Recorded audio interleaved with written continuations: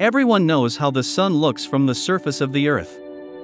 It is enough just to look at the sky and see a shining disk, which is located at a distance of 149.6 million kilometers from us. It is somewhat more difficult to imagine what the sun looks like from other planets in the solar system. The works of artists and photographs will help those who do not have enough of their own imagination. On them you will see the sun as it appears in the skies of the seven planets of the solar system and the dwarf Pluto. Let's start with Mercury. Mercury is closest to our star, it is only 58 million kilometers from the Sun. Mercury is an extremely hot world because it is very close to the Sun, and it does not have an atmosphere that shields it from the heat of the Sun. The absence of an atmosphere is what determines what the sky of Mercury looks like. The stars on Mercury are visible only at night, during the day they are not visible due to the fact that the sun shines very brightly and outshines the stars with its brilliance. The solar disk is about three times larger than on Earth. Venus. Venus is the second planet in the solar system, 108 million kilometers from the Sun. You will most likely not see the Sun from the surface due to dense clouds of sulfuric acid. If you look at the Sun from under the sulfuric acid clouds of the Venusian atmosphere, the star looks like a dim luminous spot. The Sun on Venus appears to be 50% larger than on Earth. Red planet Mars. Mars is located 227.9 million kilometers from the Sun, 1.5 times farther from the star than our planet. In the dusty skies of the red planet, the Sun appears much smaller than on Earth. The sunset is not red like on Earth, but bluish. The reason for this color of the sky is the same that on Earth gives a blue sky and a red sunset Rayleigh scattering. The difference between the color of the sky at noon and at sunset is the volume of the atmosphere that the sun's rays overcome. On Mars, the atmosphere is a hundred times thinner than on Earth, but when the sun is near the horizon, its light penetrates 30 times the thicker layer of the atmosphere than at noon.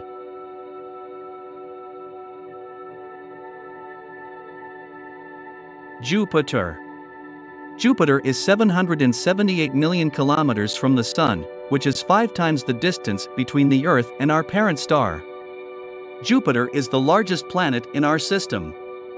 A giant ball of gas, inside which hydrogen acquires metallic properties.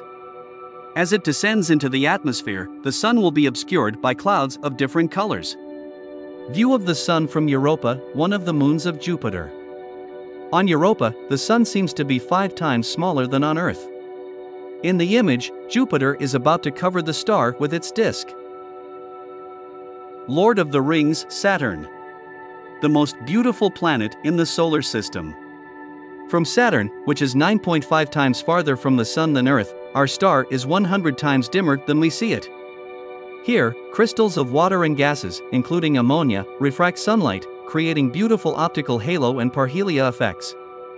The size of the solar disk is on average 9.5 times smaller than ours. Also, the gas giant emits more heat than it receives from the Sun. Uranus Uranus is the seventh planet from the Sun, 19 times farther from the star than Earth.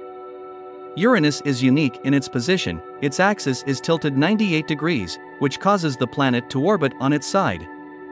Uranus makes one revolution in 84 Earth years, and a day passes in 17 hours. This period is calculated approximately due to the uneven movement of the gaseous surface. To imagine how the sun moves across the sky, there requires the boiling of the brain. Neptune Blue Giant Neptune is the farthest planet of the solar system. Winds blowing on Neptune have a unique speed, its average number is 1000 km per hour, and gusts at a hurricane reach 2,400 km per hour. Air masses move against the axis of rotation of the planet. An inexplicable fact is the strengthening of storms and winds, which is observed with an increase in the distance between the planet and the Sun. The Sun is 30 times less than earthly. Pluto. The ex-planet of the solar system and now the dwarf planet Pluto is beyond all from the Sun. Pluto is 40 times further from the Sun than the Earth, so little solar energy and light come here that our luminary can be confused with a large star. Here, sunlight is 1,600 times dull than on Earth. Nevertheless, the Sun on Pluto is 250 times brighter than the full moon on Earth.